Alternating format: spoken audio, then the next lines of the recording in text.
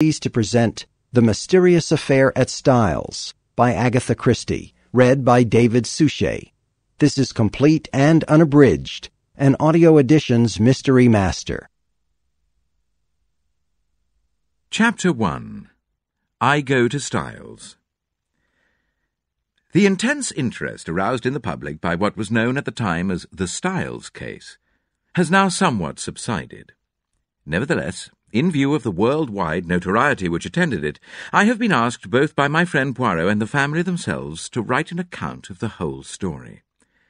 This, we trust, will effectually silence the sensational rumours which still persist.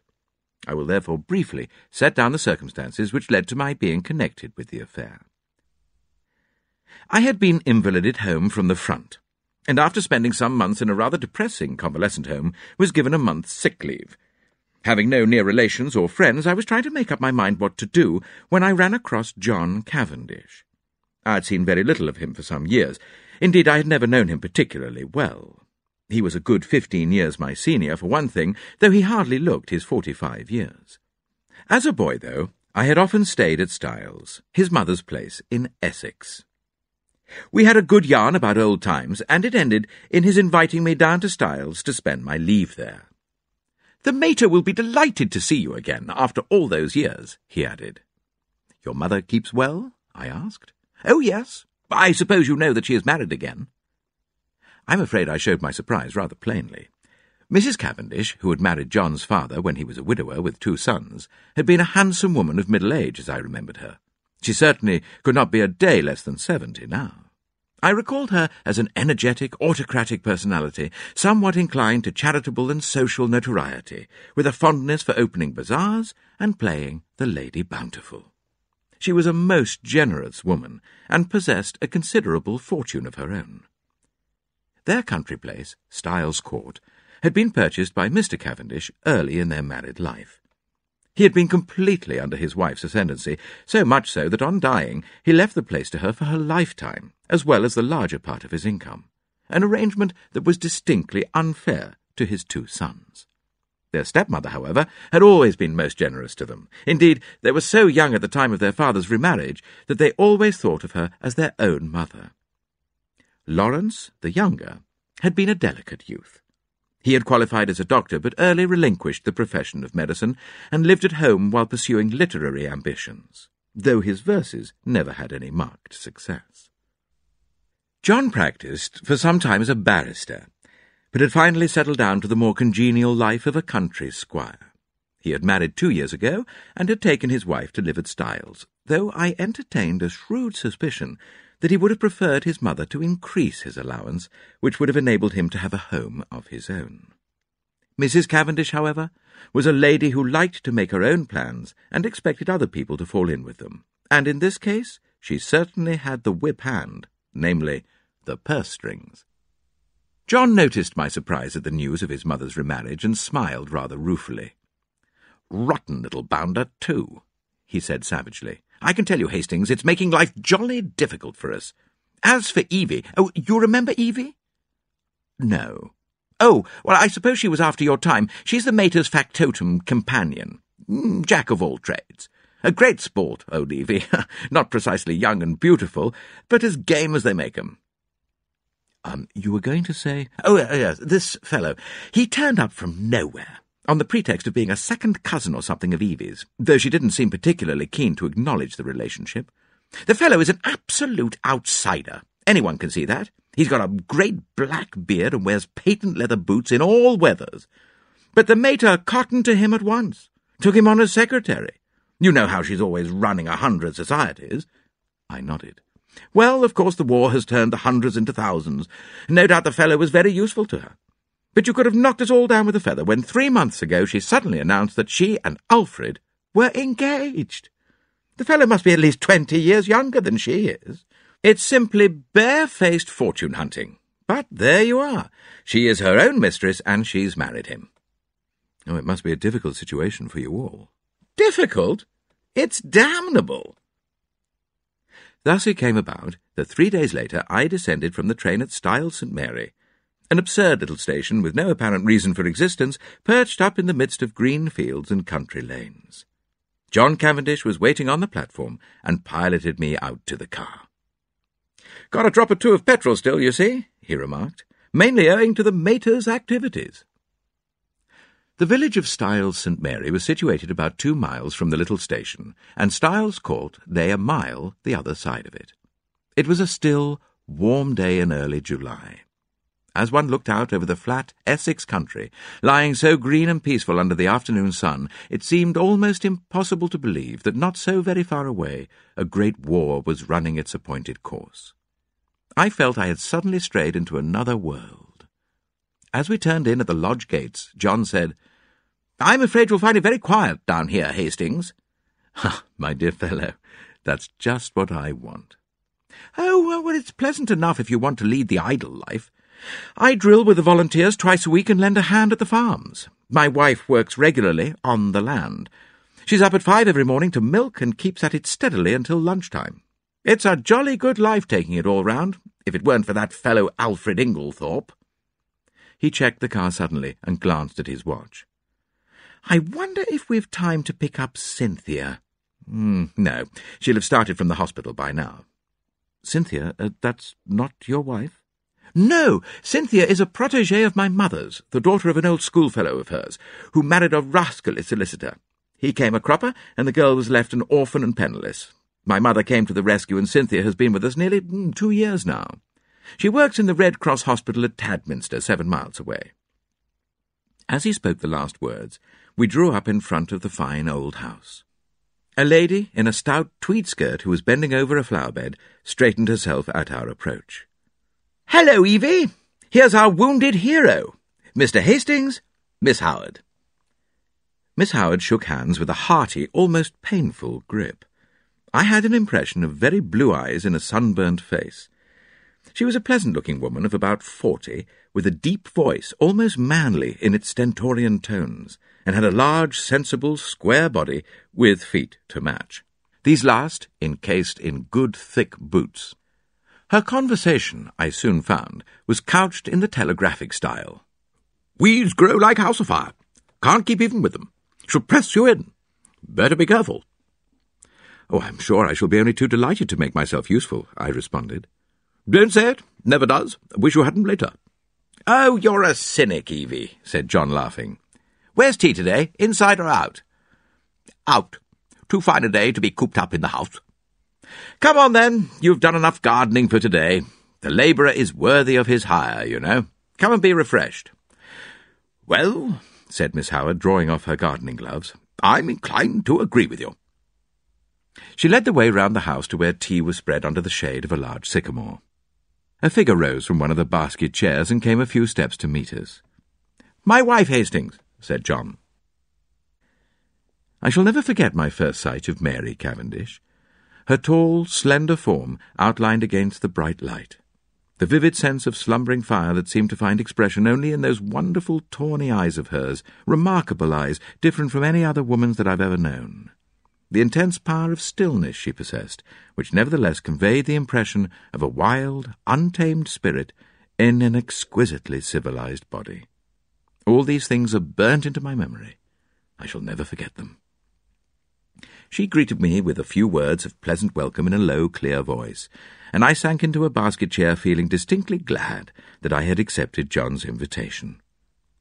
Mrs. Cavendish gave me some tea, and her few quiet remarks heightened my first impression of her as a thoroughly fascinating woman. An appreciative listener is always stimulating, and I described in a humorous manner certain incidents of my convalescent home in a way which, I flatter myself, greatly amused my hostess. John, of course, good fellow though he is, could hardly be called a brilliant conversationalist. At that moment, a well-remembered voice floated through the open French window near at hand. Then you'll write to the Princess after tea, Alfred. I'll write to Lady Tadminster for the second day myself, or um, shall we wait until we hear from the Princess? In case of a refusal, Lady Tadminster might open it the first day and Mrs. Crosby the second. Oh, but then there's the Duchess, about the school fete. There was the murmur of a man's voice, and then Mrs. Inglethorp's rose in reply. Y yes, certainly. After tea will do quite well. You're so thoughtful, Alfred dear. The French windows swung open a little wider, and a handsome, white-haired old lady with a somewhat masterful cast of features stepped out of it onto the lawn. A man followed her, a suggestion of deference in his manner. Mrs. Inglethorp greeted me with effusion. Why, if it isn't too delightful to see you again, Mr. Hastings, after all these years. Alfred, darling, Mr. Hastings. Mr. Hastings, my husband. I looked with some curiosity at Alfred Darling. He certainly struck a rather alien note. I did not wonder at John objecting to his beard. It was one of the longest and blackest I've ever seen. He wore gold-rimmed pince-nez and had a curious impassivity of feature. It struck me that he might look natural on a stage, but was strangely out of place in real life. His voice was rather deep and unctuous. He placed a wooden hand in mine and said, Oh, this is a pleasure, Mr. Hastings. Then, turning to his wife, Emily, dearest, I think that cushion is a little damp. She beamed fondly on him as he substituted another with every demonstration of the tenderest care. Strange infatuation of an otherwise sensible woman. With the presence of Mr. Inglethorp, a sense of constraint and veiled hostility seemed to settle down upon the company. Miss Howard, in particular, took no pains to conceal her feelings. Mrs. Inglethorp, however, seemed to notice nothing unusual. Her volubility, which I remembered of old, had lost nothing in the intervening years, and she poured out a steady flood of conversation, mainly on the subject of the forthcoming bazaar which she was organizing and which was to take place shortly. Occasionally she referred to her husband over a question of days or dates. His watchful and attentive manner never varied. From the very first, I took a firm and rooted dislike to him and I flatter myself that my first judgments are usually fairly shrewd. Presently, Mrs. Inglethorp turned to give some instructions about letters to Evelyn Howard, and her husband addressed me in his painstaking voice.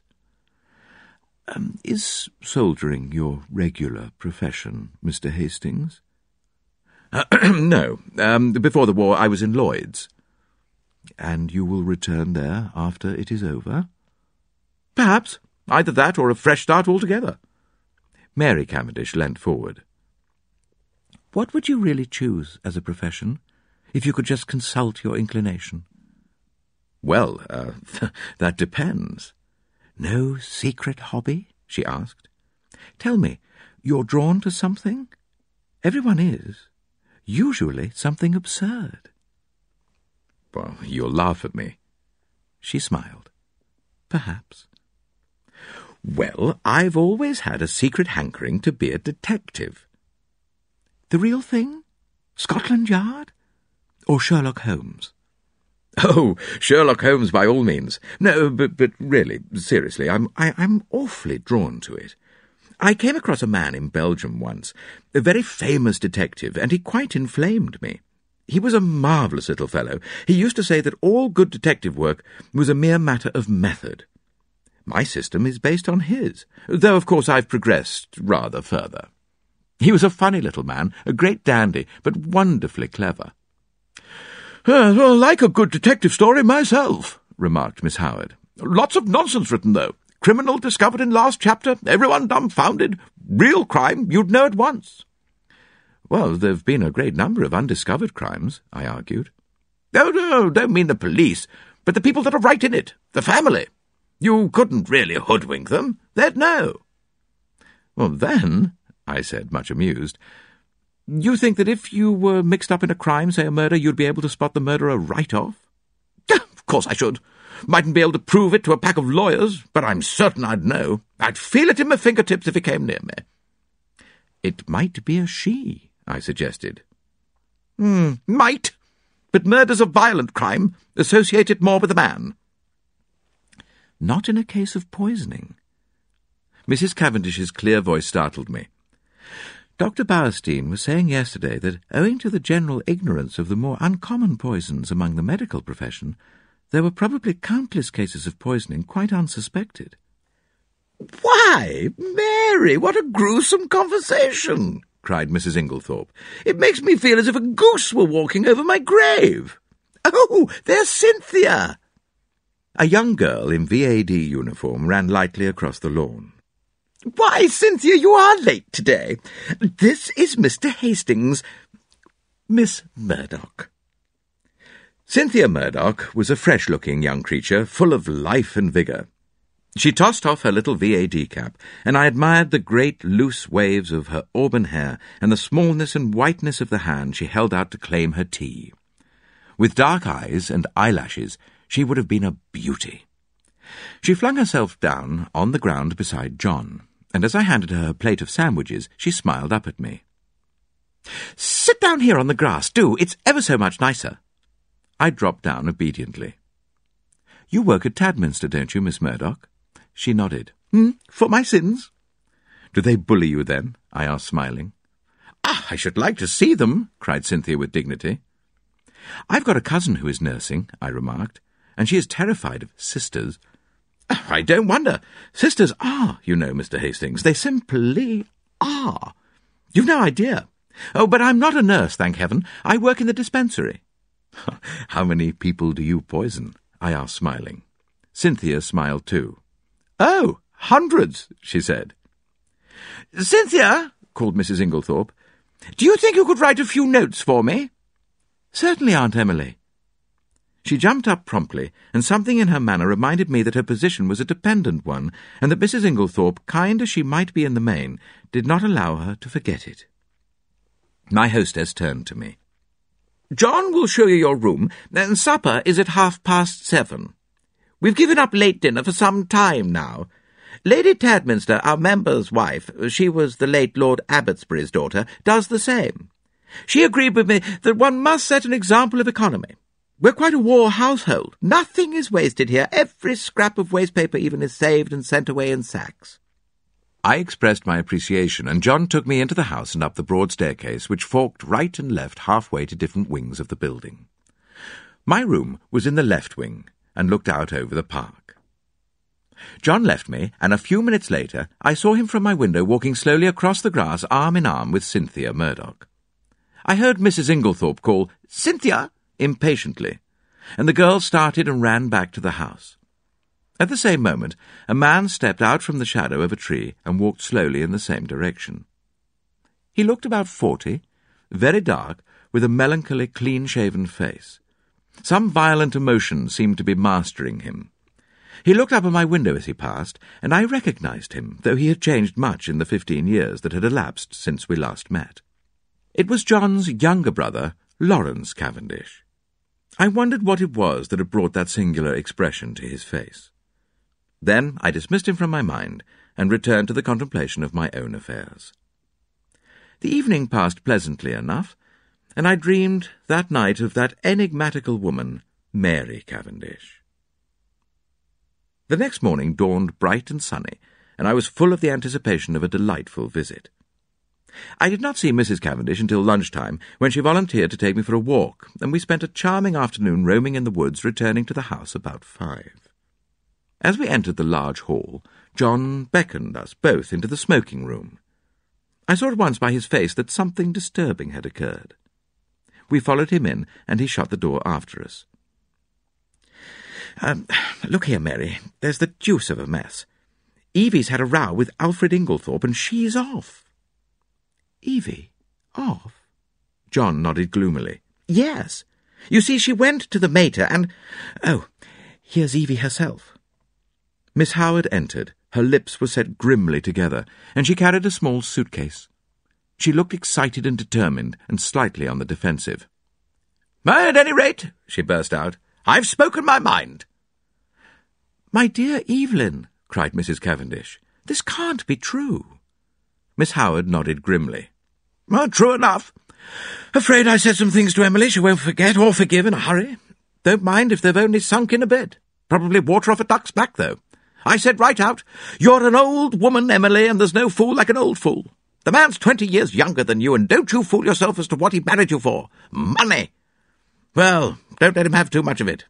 Farmer Raikes has got a very pretty young wife. Just ask your Alfred how much time he spends over there. She was very angry. Natural. I went on. I'm going to warn you whether you like it or not. That man would as soon murder you in your bed as look at you. He's a bad lot. You can say what you like to me, but remember what I've told you. He's a bad lot. What did she say? Miss Howard made an extremely expressive grimace. Darling Alfred, dearest Alfred, wicked calumnies, wicked lies, uh, wicked woman, to accuse her dear husband. The sooner I left her house, the better, so I'm off. But not now. This minute. For a moment we sat and stared at her. Finally, John Cavendish, finding his persuasions of no avail, went off to look up the trains. His wife followed him, murmuring something about persuading Mrs. Inglethorp to think better of it. As she left the room, Miss Howard's face changed. She leant toward me eagerly. Mr. Hastings, you're honest. I can trust you? I was a little startled. She laid her hand on my arm and sank her voice to a whisper. Look after her, Mr. Hastings. My poor Emily. There are a lot of sharks, all of them. Oh, I know what I'm talking about. There isn't one of them that's not hard up and trying to get money out of her. I've protected her as much as I could, and now I'm out of the way. They'll impose upon her. Of course, Miss Howard, I said. I'll do everything I can. But I'm sure you're excited and overwrought. She interrupted me by slowly shaking her forefinger. Young man, trust me. I've lived in the world rather longer than you have. All I ask you is the sinister face of Dr. Bauerstein recurred to me unpleasantly. A vague suspicion of everyone and everything filled my mind. Just for a moment, I had a premonition of approaching evil. Chapter 2 The 16th and 17th of July. I had arrived at Styles on the 5th of July. I come now to the events of the 16th and 17th of that month. For the convenience of the reader, I will recapitulate the incidents of those days in exact a manner as possible. They were elicited subsequently at the trial by a process of long and tedious cross-examinations. I received a letter from Evelyn Howard a couple of days after her departure, telling me that she was working as a nurse at the big hospital in Midlingham, a manufacturing town some fifteen miles away, and begging me to let her know if Mrs. Inglethorp should show any wish to be reconciled. The only fly in the ointment of my peaceful days was Mrs. Cavendish's extraordinary, and for my part unaccountable preference for the society of Dr. Bauerstein. What she saw in the man I cannot imagine, but she was always asking him up to the house, and often went off for long expeditions with him. I, I must confess that I was quite unable to see his attraction. The 16th of July fell on a Monday. It was a day of turmoil. The famous bazaar had taken place on Saturday, and an entertainment in connection with the same charity at which Mrs. Inglethorp was to recite a war poem was to be held that night. We were all busy during the morning arranging and decorating the hall in the village where it was to take place. We had a late luncheon and spent the afternoon resting in the garden. I noticed that John's manner was somewhat unusual. He seemed very excited and restless. After tea, Mrs. Inglethorp went to lie down to rest before her efforts in the evening, and I challenged Mary Cavendish to a single at tennis. About a quarter to seven, Mrs. Inglethorp called to us that we should be late, as supper was early that night. We had rather a scramble to get ready in time, and before the meal was over, the motor was waiting at the door. The entertainment was a great success, Mrs. Inglethorp's recitation receiving tremendous applause. There were also some tableaux in which Cynthia took part. She did not return with us, having been asked to a supper party, and to remain the night with some friends who had been acting with her in the tableau. The following morning, Mrs. Inglethorp stayed in bed to breakfast, as she was rather overtired, but she appeared in her briskest mood about twelve-thirty, and swept Lawrence and myself off to a luncheon party. Such a charming invitation from Mrs. Rolleston, Lady Tadminster's sister, you know. The Rollestons came over with the Conqueror, one of our oldest families. Mary had excused herself on the plea of an engagement with Dr. Bauerstein. We had a pleasant luncheon, and as we drove away, Lawrence suggested that we should return by Tadminster, which was barely a mile out of our way, and pay a visit to Cynthia in her dispensary. Mrs. Inglethorp replied that this was an excellent idea, but as she had several letters to write, she would drop us there, and we would come back with Cynthia in the pony trap. We were detained under suspicion by the hospital porter until Cynthia appeared to vouch for us, looking very cool and sweet in her long white overall. She took us up to her sanctum and introduced us to her fellow dispenser, a rather awe-inspiring individual whom Cynthia cheerily addressed as Nibs. What a lot of bottles! I exclaimed, as my eye travelled round the small room. Do you really know what's in them all? Oh, say something original, groaned Cynthia. Every single person who comes up here says that. We're really thinking of bestowing a prize on the first individual who does not say, What a lot of bottles. And I know the next thing you're going to say is, How many people have you poisoned? I pleaded guilty with a laugh. If you people only knew how fatally easy it is to poison someone by mistake, you wouldn't joke about it. Come on, let's have tea. We've got all sorts of secret stores in that cupboard. Uh, no, Lawrence, that's the poison cupboard. The big cupboard. That's right. We had a very cheery tea, and assisted Cynthia to wash up afterwards. We had just put away the last teaspoon when a knock came at the door. The countenances of Cynthia and Nibs were suddenly petrified into a stern and forbidding expression. Come in, said Cynthia in a sharp professional tone. A young and rather scared-looking nurse appeared with a bottle which she proffered to Nibs, who waved it towards Cynthia with the somewhat enigmatical remark, uh, I'm not really here today. Cynthia took the bottle and examined it with the severity of a judge. But this should have been sent up this morning. Um, Sister's very sorry, she forgot. Sister should read the rules outside the door. I gathered from the little nurse's expression that there was not the least likelihood of her having the hardihood to retail this message to the dreaded sister. So now it can't be done until tomorrow, finished Cynthia. Oh, don't you think you could possibly let us have it tonight? Well, said Cynthia graciously, we are very busy, but if we have time it shall be done. The little nurse withdrew, and Cynthia promptly took a jar from the shelf, refilled the bottle, and placed it on the table outside the door. I laughed. Discipline must be maintained. Exactly. Come out on our little balcony. You can see all the outside wards there. I followed Cynthia and her friend, and they pointed out the different wards to me. Lawrence remained behind, but after a few moments Cynthia called to him over her shoulder to come and join us. Then she looked at her watch. Uh, nothing more to do, Nibs? Uh, no. All right, then we can lock up and go.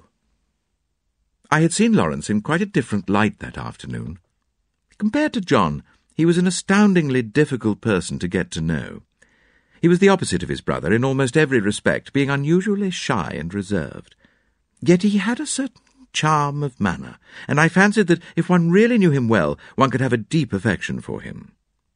I had always fancied that his manner to Cynthia was rather constrained, and that she on her side was inclined to be shy of him, but they were both gay enough this afternoon and chatted together like a couple of children. As we drove through the village, I remembered that I wanted some stamps, so accordingly we pulled up at the post office. As I came out again, I cannoned into a little man who was just entering. I drew aside and apologized, when suddenly, with a loud exclamation, he clasped me in his arms and kissed me warmly. Mon ami Hastings, he cried. It is indeed Mon ami Hastings. Poirot, I exclaimed. I turned to the pony trap. This is a very pleasant meeting for me, Miss Cynthia. This is my old friend, Monsieur Poirot, whom I have not seen for years. Oh, we know Monsieur Poirot, said Cynthia gaily, but I had no idea he was a friend of yours. Oh, yes, indeed, said Poirot seriously. I know Mademoiselle Cynthia. It is by the charity of that good Mrs. Inglethorp that I am here. Then, as I looked at him inquiringly, Oh, yes, my friend. She had kindly extended hospitality to seven of my country people who, alas, are refugees from their native land. We Belgians will always remember her with gratitude. Poirot was an extraordinary-looking little man. He was hardly more than five feet four inches, but carried himself with great dignity. His head was exactly the shape of an egg, and he always perched it a little on one side.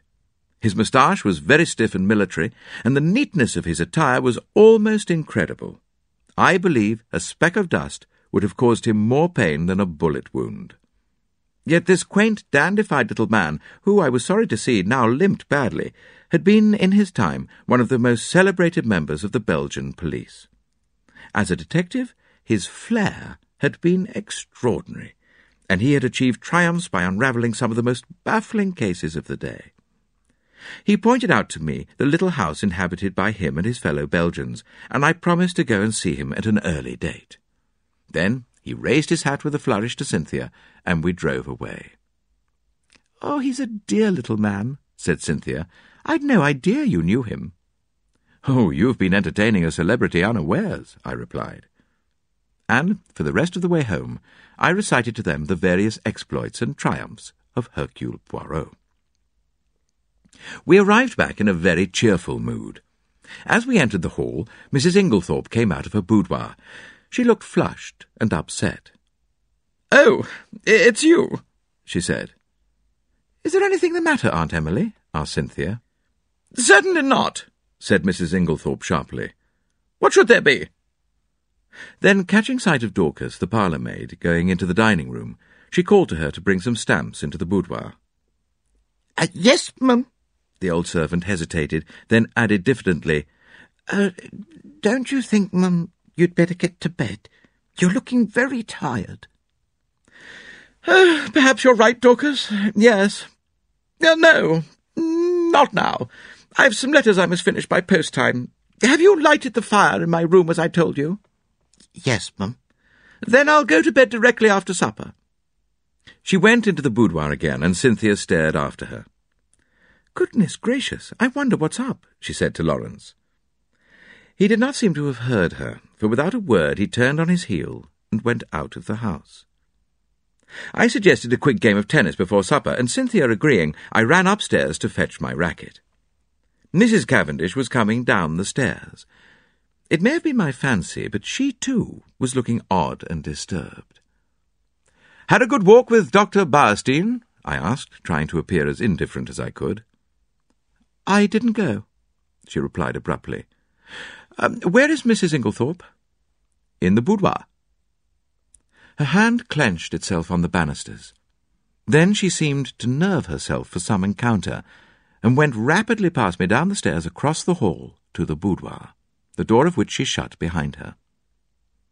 As I ran out to the tennis court a few moments later, I had to pass the open boudoir window, and was unable to help overhearing the following scrap of dialogue. Mary Cavendish was saying in the voice of a woman desperately controlling herself, Then you won't show it to me. To which Mrs. Inglethorp replied, My dear Mary, it has nothing to do with that matter. Then show it to me. I tell you it's not what you imagine. It does not concern you in the least. To which Mary Cavendish replied with a rising bitterness, Of course, I might have known you would shield him. Cynthia was waiting for me and greeted me eagerly with, I say, there's been the most awful row. I've got it all out of Dorcas. What kind of a row? Between Aunt Emily and him. Oh, I do hope she's found him out at last. Was Dorcas there, then? Of course not. She happened to be near the door. It was a real old bust-up. I do wish I knew what it was all about. I thought of Mrs. Raikes's gypsy face and Evelyn Howard's warnings, but wisely decided to hold my peace whilst Cynthia exhausted every possible hypothesis and cheerfully hoped, Aunt Emily will send him away and will never speak to him again. I was anxious to get hold of John, but he was nowhere to be seen. Evidently something very momentous had occurred that afternoon. I tried to forget the few words I had overheard, but do what I could, I could not dismiss them altogether from my mind. What was Mary Cavendish's concern in the matter? Mr. Inglethorp was in the drawing-room when I came down to supper. His face was impassive as ever, and the strange unreality of the man struck me afresh. Mrs. Inglethorp came down last. She still looked agitated, and during the meal there was a somewhat constrained silence. Inglethorp was unusually quiet. As a rule, he surrounded his wife with little attentions, placing a cushion at her back and altogether playing the part of the devoted husband. Immediately after supper, Mrs. Inglethorp retired to her boudoir again. Send my coffee in here, Mary, she called. I've just five minutes to catch the post. Cynthia and I went and sat by the open window in the drawing room. Mary Cavendish brought our coffee to us. She seemed excited. Do you young people want lights, or do you enjoy the twilight? she asked.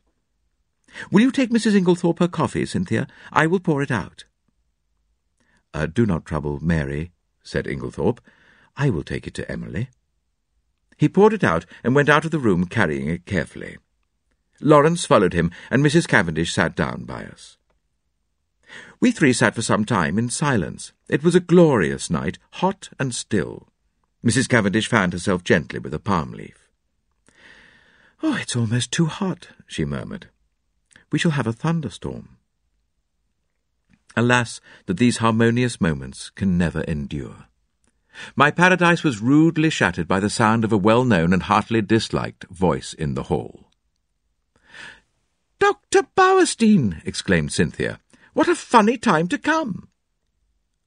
I glanced jealously at Mary Cavendish, but she seemed quite undisturbed. The delicate pallor of her cheeks did not vary. In a few moments Alfred Inglethorp had ushered the doctor in, the latter laughing and protesting that he was in no fit state for a drawing-room. In truth, he presented a sorry spectacle, being literally plastered with mud. "'What have you been doing, Doctor?' cried Mrs. Cavendish. "'I must make my apologies,' said the doctor. "'I did not really mean to come in, but Mr. Inglethorp insisted.' "'Well, Bauerstein, you are in a plight,' said John, strolling in from the hall. "'Have some coffee and tell us what you've been up to.' "'Thank you. I will.' He laughed rather ruefully as he described how he had discovered a very rare species of fern in an inaccessible place, and in his efforts to obtain it had lost his footing and slipped ignominiously into a neighbouring pond. The sun soon dried me off, he added, but I'm afraid my appearance is very disreputable. At this juncture, Mrs. Inglethorp called to Cynthia from the hall, and the girl ran out. Uh, just carry up my dispatch case, will you, dear? I'm going to bed. The door into the hall was a wide one. I had risen when Cynthia did. John was close by me. There were therefore three witnesses who could swear that Mrs. Inglethorp was carrying her coffee, as yet untasted, in her hand. My evening was utterly and entirely spoilt by the presence of Dr. Bauerstein. It seemed to me the man would never go. He rose at last, however, and I breathed a sigh of relief. I'll walk down to the village with you, said Mr. Inglethorp. I must see our agent over those estate accounts. He turned to John. No one need sit up. I will take the latchkey. Chapter 3 The Night of the Tragedy To make this part of my story clear, I would ask you to have a look at the plan of the first floor of Styles, a copy of which I have provided to accompany my tale. As you will see, the servants' rooms are reached through the door B. They have no communication with the right wing, where the Inglethorps' rooms were situated. It seemed to be the middle of the night when I was awakened by Lawrence Cavendish. He had a candle in his hand, and the agitation of his face told me at once that something was seriously wrong. What's the matter? I asked, sitting up in bed and trying to collect my scattered thoughts. Uh, we are afraid my mother is very ill. She seems to be having some kind of fit. Unfortunately, she has locked herself in. I'll come at once. I sprang out of bed, and, pulling on a dressing gown, followed Lawrence along the passage in the gallery to the right wing of the house. John Cavendish joined us, and one or two of the servants were standing around in a state of awe-stricken excitement. Lawrence turned to his brother. Um, what do you think we had better do? Never, I thought, had his indecision of character been more apparent. John rattled the handle of Mrs. Inglethorp's door violently, but with no effect. It was obviously locked or bolted on the inside. The whole household was aroused by now. The most alarming sounds were audible from the interior of the room. Clearly, something must be done. Uh, try going through Mr. Inglethorp's room, sir, cried Dorcas. Oh, the poor mistress. Suddenly I realized that Alfred Inglethorp was not with us, that he alone had given no sign of his presence. John opened the door of his room. It was pitch dark. But Lawrence was following with the candle, and by its feeble light we saw that the bed had not been slept in, and that there was no sign of the room having been occupied. We went straight to the connecting door. That, too, was locked or bolted on the inside. What was to be done? Oh, dear sir, cried Dorcas, wringing her hands. Whatever shall we do? Well, we must try and break the door in, I suppose. It'll be a tough job, though. Here, let one of the maids go down and wake Bailey, and tell him to go for Dr. Wilkins at once. Now then, we'll have a try at the door. Uh, half a moment, though. Isn't there a door into Miss Cynthia's room? Uh, yes, sir, but that's always bolted. It's never been undone. Well, we might just see. He ran rapidly down the corridor to Cynthia's room. Mary Cavendish was there, shaking the girl, who must have been an unusually sound sleeper, and trying to wake her. In a moment or two, he was back. No good. That's bolted too. We must break in the door. I think this one is a shade less solid than the one in the passage. We strained and heaved together. The framework of the door was solid, and for a long time it resisted our efforts. But at last we felt it give beneath our weight, and finally, with a resounding crash, it was burst open. We stumbled in together, Lawrence still holding his candle. Mrs. Inglethorp was lying on the bed, her whole form agitated by violent convulsions, in one of which she must have overturned the table beside her. As we entered, however, her limbs relaxed, and she fell back upon the pillows. John strode across the room and lit the gas. Turning to Annie, one of the housemaids, he sent her downstairs to the dining room for brandy. Then he went across to his mother whilst I unbolted the door that gave on the corridor. I turned to Lawrence to suggest that I had better leave them now that there was no further need of my services, but the words were frozen on my lips. Never have I seen such a ghastly look on any man's face. He was white as chalk. The candle he held in his shaking hand was sputtering onto the carpet, and his eyes, petrified with terror, or some such kindred emotion, stared fixedly over my head at a point on the further wall. It was as though he had seen something that turned him to stone. I instinctively followed the direction of his eyes, but I could see nothing unusual. The still feebly flickering ashes in the grate, and the row of prim ornaments on the mantelpiece were surely harmless enough. The violence of Mrs. Inglethorp's attack seemed to be passing. She was able to speak in short gasps. Better now. Very sudden. Stupid of me to lock myself in. A shadow fell on the bed, and looking up, I saw Mary Cavendish standing near the door with her arm round Cynthia. She seemed to be supporting the girl, who looked utterly dazed and unlike herself. Her face was heavily flushed, and she yawned repeatedly. Poor Cynthia is quite frightened, said Mrs. Cavendish in a low, clear voice. She herself, I noticed, was dressed in her white land smock. Then it must be later than I thought. I saw that a faint streak of daylight was showing through the curtains of the windows, and that the clock on the mantelpiece pointed to close upon five o'clock. A strangled cry from the bed startled me. A fresh access of pain seized the unfortunate old lady. The convulsions were of a violence terrible to behold. Everything was confusion. We thronged round her, powerless to help or alleviate. A final convulsion lifted her from the bed until she appeared to rest upon her head and her heels, with her body arched in an extraordinary manner. In vain, Mary and John tried to administer more brandy. The moments flew. Again, the body arched itself in that peculiar fashion. At that moment, Dr. Bauerstein pushed his way authoritatively into the room. For one instant he stopped dead, staring at the figure on the bed, and at the same instant Mrs. Inglethorp cried out in a strangled voice, her eyes fixed on the doctor, Alfred! Alfred! Then she fell back motionless on the pillows. With a stride, the doctor reached the bed, and seizing her arms, worked them energetically, applying what I knew to be artificial respiration.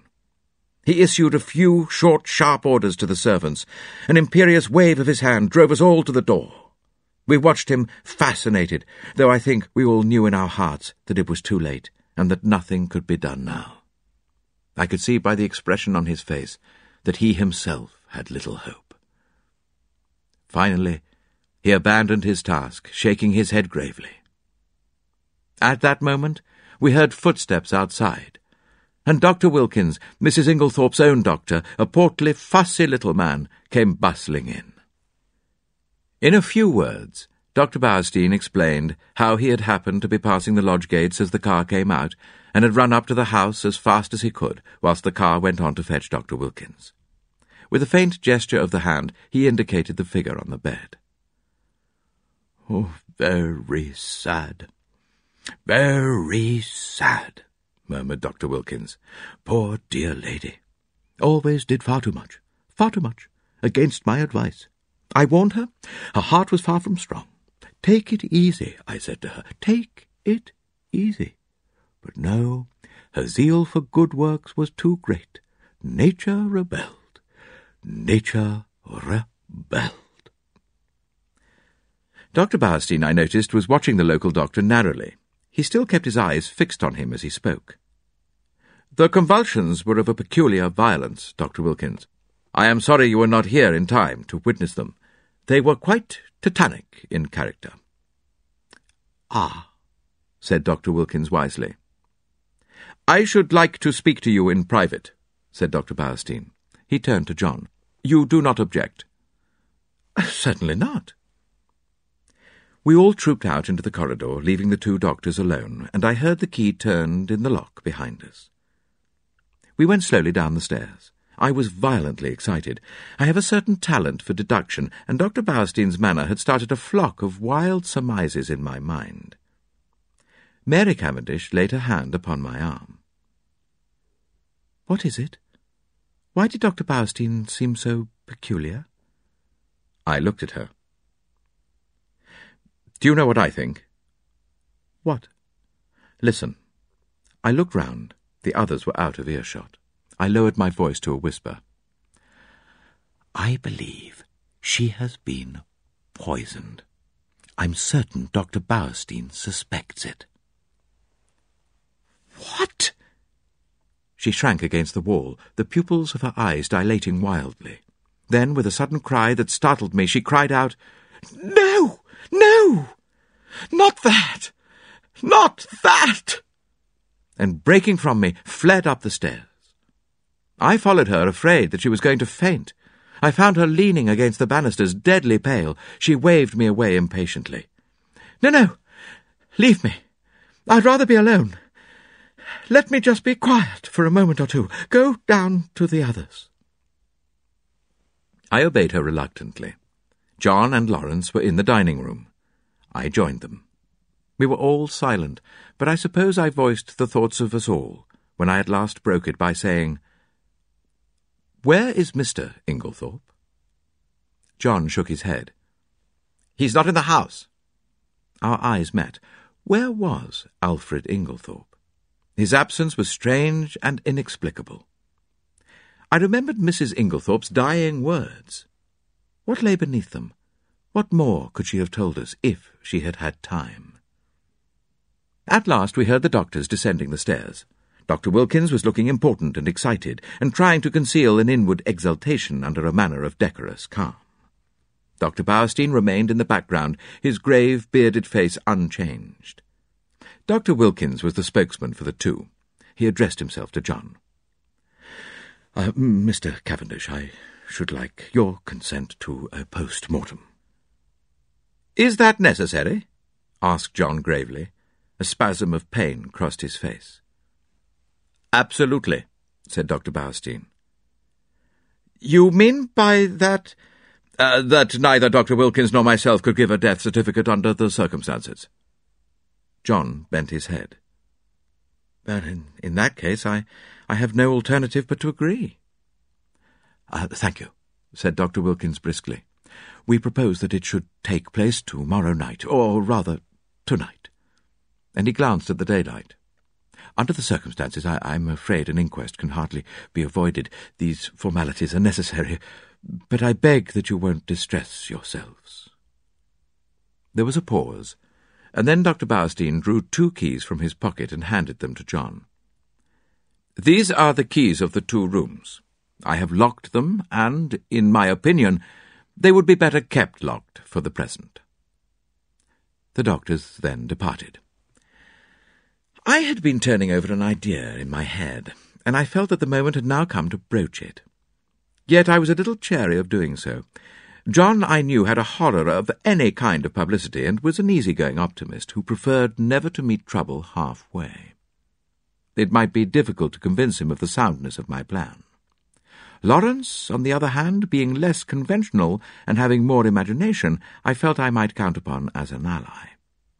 There was no doubt that the moment had come for me to take the lead. John, I said, I'm going to ask you something. Well, you remember my speaking of my friend Poirot, the Belgian who is here. Uh, he has been a most famous detective. Yes. I want you to let me call him in to investigate this matter. What? Now? Before the post-mortem? Yes. Time is an advantage if... if there has been foul play. Rubbish, cried Lawrence angrily. In my opinion, the whole thing is a mare's nest of Bauerstein's. Wilkins hadn't an idea of such a thing until Bauerstein put it into his head. But like all specialists, Bauerstein's got a bee in his bonnet. Poisons are his hobby, so of course he sees them everywhere. I confess that I was surprised by Lawrence's attitude. He was so seldom vehement about anything. John hesitated. I can't feel as you do, Lawrence, he said at last. I'm inclined to give Hastings a free hand, though I should prefer to wait a bit. We don't want any unnecessary scandal. Oh, no, no, I cried eagerly. You need have no fear of that. Poirot is discretion itself. Well, very well, then. Have it your own way. I leave it in your hands, though, if it is as we suspect, it seems a clear enough case. God forgive me if I'm wronging him. I looked at my watch. It was six o'clock. I determined to lose no time. Five minutes delay, however, I allowed myself. I spent it in ransacking the library until I discovered a medical book which gave a description of strychnine poisoning. Chapter 4 Poirot investigates. The house which the Belgians occupied in the village was quite close to the park gates. One could save time by taking a narrow path through the long grass which cut off the detours of the winding drive, so I accordingly went that way. I had nearly reached the lodge when my attention was arrested by the running figure of a man approaching me. It was Mr. Inglethorp. Where had he been? How did he intend to explain his absence? He accosted me eagerly. My God, this is terrible. Oh, my poor wife. I have only just heard. Where have you been? I asked. Oh, Denby kept me late last night. It was one o'clock before we'd finished, and then I found that I'd forgotten the latchkey after all. I didn't want to arouse the household, so Denby gave me a bed. How did you hear the news? I asked. Oh, Wilkins knocked Denby up to tell him. Oh, my poor Emily. She was so self-sacrificing, such a noble character. She overtaxed her strength. A wave of revulsion swept over me. What a consummate hypocrite the man was. I must hurry on, I said, thankful that he did not ask me whither I was bound. In a few minutes I was knocking at the door of Leastways Cottage. Getting no answer, I repeated my summons impatiently. A window above me was cautiously opened, and Poirot himself looked out. He gave an exclamation of surprise at seeing me. In a few brief words, I explained the tragedy that had occurred, and that I wanted his help. Wait, my friend. I will let you in, and you shall recount to me the affair whilst I dress. In a few moments he had unbarred the door, and I followed him up to his room. There he installed me in a chair, and I related the whole story, keeping back nothing, and omitting no circumstance, however insignificant, whilst he himself made a careful and deliberate toilet. I told him of my awakening, of Mrs. Inglethorp's dying words, of her husband's absence, of the quarrel the day before, of the scrap of conversation between Mary and her mother-in-law that I had overheard, of the former quarrel between Mrs. Inglethorp and Evelyn Howard, and of the latter's innuendos. I was hardly as clear as I could wish. I repeated myself several times, and occasionally had to go back to some detail that I had forgotten. Poirot smiled kindly on me. Ah, the mind is confused. Is it not so? Take time, mon ami. You are agitated. You are excited. It is but natural. Presently, when we are calmer, we will arrange the facts neatly, each in his proper place. We will examine and reject. Those of importance we will put on one side, those of no importance. Poof! He screwed up his cherub-like face and puffed comically enough. Blow them away. Well, that's all very well, I objected. But how are you going to decide what is important and what isn't? That always seems the difficulty to me. Poirot shook his head energetically. He was now arranging his moustache with exquisite care. Oh, not so. Voyons. One fact leads to another, and so we continue. Does the next fit in with that? À merveille. Good. We can proceed. This next little fact? No. Ah, that is curious. There is something missing, a link in the chain that is not there. Oh, we examine, we search, and that little curious fact, that possible portrait little detail that will not tally, we put it here. He made an extravagant gesture with his hand. It is significant. It is tremendous. Uh, yes. Ah! Poirot shook his forefinger so fiercely at me that I quailed before it. Beware! Peril to the detective who says it is so small it does not matter. It will not agree. I will forget it. No, that way lies confusion. Everything matters. Why, no. You always told me that. That's why I've gone into all the details of this thing, whether they seem to me relevant or not. Well, and I am pleased with you. You have a good memory, and you have given me the facts faithfully. Of the order in which you present them, I say nothing. Truly, it is deplorable. But I make allowances. You are upset. To that I attribute the circumstance that you have omitted one fact of paramount importance. Well, what's that? I asked. You have not told me if Mrs. Inglethorp ate well last night. I stared at him. Surely the war had affected the little man's brain. He was carefully engaged in brushing his coat before putting it on, and seemed wholly engrossed in the task. Why, I don't remember, I said. And anyway, I don't see... Oh, you do not see? But it is of the first importance. But I can't see why, I said, rather nettled. As far as I can remember, uh, she didn't eat much. Uh, she was obviously upset, and it had taken her appetite away. Well, that was only natural. Yes, said Poirot thoughtfully. It was only natural. He opened a drawer and took out a small dispatch case, then turned to me. Now I am ready. We will proceed to the chateau and study matters on the spot. Excuse me, mon ami, you're dressed in haste, and your tie is on one side. Permit me. With a deft gesture, he rearranged it. Ça y est. Now, shall we start?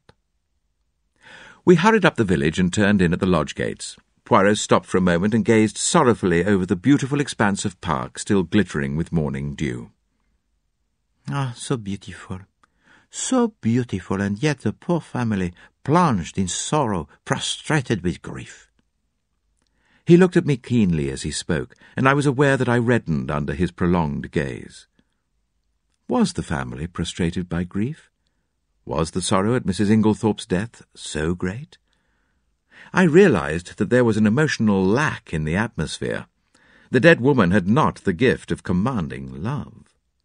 Her death was a shock and a distress, but she would not be passionately regretted. Poirot seemed to follow my thoughts. He nodded his head gravely. No, you are right, he said. It is not as though there was a blood tie. She has been kind and generous to these Cavendishes, but she was not their own mother. Blood tells. Always remember that. Blood tells. End of Disc 1.